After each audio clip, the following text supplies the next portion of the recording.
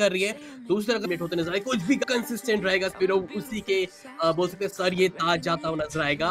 वो team soul होगी फ़िलहाल के कोई कैजुअलिटी नहीं ग्यारह फिनिश निकाल चुकी है। एंड हाँ वेल अभी के लिए उनके पास सबसे बड़ी मिशन है। अगर यहाँ से चिकन नहीं आता डिसअपॉइंटमेंट बहुत ज़्यादा होने वाली है बट वहीं अगर बात की जाए, हैदराबाद हाइड्रास का भी मेरे ख्याल से कुछ वहाँ पे बचे हुए हैं।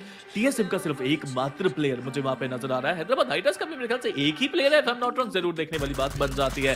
बट यहाँ पे आपको जीवित नज़र आएँगे। वो भी यहाँ पे नॉक कर देंगे। एग्निग्मा एगी का जो नीड आया है मेरे ख्याल से पूरी की पूरी एक्सो को टेक डाउन करते हुए नज़र आया। आप हमें टीम हैदराबाद भी खत्म हो चुकी है। कोलारू भी यहाँ पे डैमेज खाएँगे। एक्वानॉक्स भी खत्म हो जाएँगे। Team Soul they are looking unstoppable today पहला चिकन आने वाला है मेरे ख्याल से गेम तो और ये आने के बाद एक चीज़ बिल्कुल क्लियर हो जाएगी कि टेबल टॉप वो आ सकते हैं।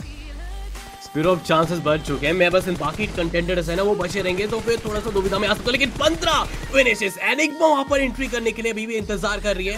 दूसरी अगर हम बात करें गॉबलिन वो तो कोशिश करेगी जितना क्लोज क्या है। और यहाँ पर सत्रह फिनिशेस क्या कल देखिए रिकॉर्ड कल वाला तो नहीं ब्रेक होगा लेकिन स्पिरो अब आखिरी खिलाड़ी ओवर स्पोर्ट्स के आरू। मतलब इस गेम के बाद आपको एक बड़ी सफलता। यहाँ पर गए तो ज़रूर पैन करने के लिए